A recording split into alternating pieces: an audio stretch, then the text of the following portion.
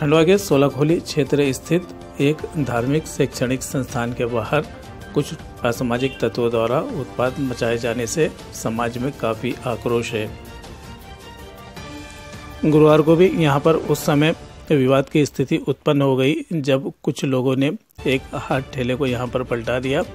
इससे आक्रोशित लोगों ने आरोपियों की गिरफ्तारी की मांग को लेकर काफ़ी देर तक यहाँ पर प्रदर्शन किया।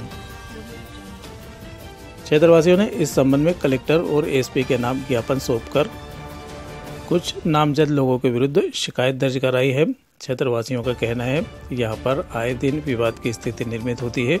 कुछ लोग यहाँ पर धार्मिक भावनाएँ भड़काने का काम भी कर रहे हैं।